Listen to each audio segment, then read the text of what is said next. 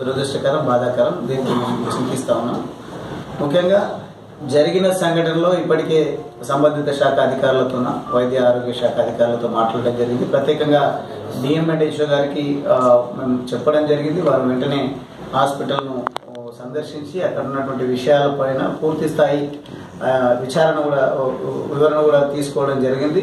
పూర్తి స్థాయి ఎంక్వైరీ జరిగిన తర్వాత ఎవరైతే బాధ్యులు ఉంటారో తప్పకుండా వారిపైన కఠిన చర్యలు తీసుకునే విధంగానే మా ఆలోచన ఉంటుంది తప్ప ఎక్కడ ఇటువంటి సంఘటనలను దాచిపెట్టే విధంగా కానీ లేదంటే దీనికి బాధ్యులైనటువంటి వారిని రక్షించేటువంటి ఆలోచన కానీ ఎట్టి పరిస్థితుల్లో టీఆర్ఎస్ ప్రభుత్వంలో ప్రత్యేకంగా టీఆర్ఎస్ పార్టీ నుండి ప్రతిని ప్రాతినిధ్యం వహిస్తున్నటువంటి ఎమ్మెల్యేలు కానీ ఏ స్థాయి అధిక ప్రజాప్రతినిధి అయినా అటువంటి అంశాల పట్ల చాలా వ్యతిరేకంగానే ఉంటారు. ఇటువంటి సంఘటనలను రూపుమాపడం కోసమే పూర్తిగా శాసనసభ్యులు కానీ మంత్రులు కానీ తరచుగా హాస్పిటల్ను సందర్శించడము ఉన్నటువంటి ఇబ్బందులను తెలుసుకుని ఆ సమస్యల పరిష్కారం విషయంలో చాలా వరకు మేము దృష్టి కేంద్రీకరిస్తాము. ప్రత్యేకంగా నా నియోజకవర్గానికి సంబంధించినటువంటి హాస్పిటల్లో ఇప్పుడు ముఖ్యమంత్రి గారి సహాయ సహకారాలతో వంద పడకల ఆసుపత్రిగా కూడా ఏర్పాటు చేయడం జరిగింది. పూర్తిగా వన్ మంత్ టూ మంత్స్ లోపల ఇనాగరేషన్ కూడా సిద్ధమైనటువంటి సందర్భం. మొన్ననే మూడు రోజుల క్రితమే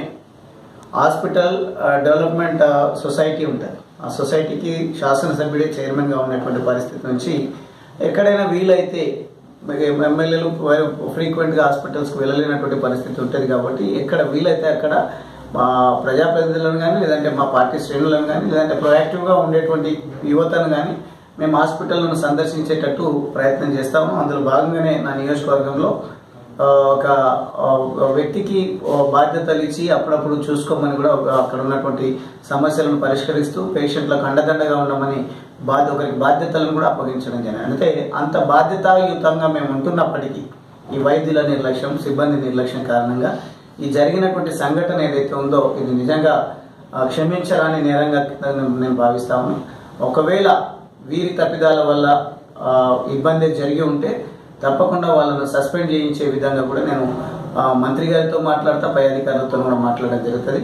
కానీ నాకున్నటువంటి సమాచారం మేరకు ఎనిమిది నెలల గర్భిణి ఉన్నటువంటి సందర్భంలో స్వాతి అనే ఆ గర్భిణి ఈరోజు ఏదైతే ఇబ్బంది జరిగిందో ప్రైవేట్ హాస్పిటల్ను సంప్రదించినప్పుడు కూడా లోపల ఉన్నటువంటి పిండం సరిగా లేదు అని చెప్పేసి వాళ్ళు చెప్పినప్పటికీ ఎవరికైనా పిల్లలు పుట్టడం అనేది ఒక ఆశగా ఉండేటువంటి పరిస్థితి. ఒక ఆశయంగా ఉండేటువంటి పరిస్థితి. కానీ వాళ్ళు పేదరికం కారణం కావచ్చు పూర్తిగా దాన్ని గుర్తెరగని కారణంగా పిండం డాక్టర్ల సమాచారం పేరు మేరకైతే పిండం ముందే చనిపోయింది. మేము పరీక్షలు నిర్వహిస్తున్నటువంటి సందర్భంలో అబ్స్ట్రాక్ట్ ఏర్పడి తల బయటకు వచ్చింది అని డాక్టర్లు చెప్పడం జరుగుతూ ఉంది కానీ నాకున్నటువంటి సమాచారం అయితే జరిగి ఉండొచ్చు సంఘటన చాలా జరుగుతూ ఉంటాయి. కానీ విషయాలను దాచిపెట్టడం అనేది నేరం కింద నేను భావిస్తూ ఉన్నాను.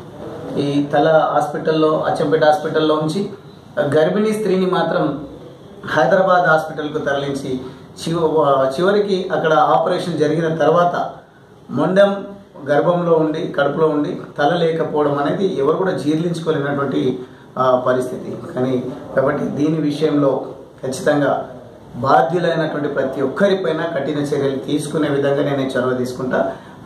ఇబ్బందికి గురైనటువంటి ఆ కుటుంబాన్ని ఎట్లాగూ వారి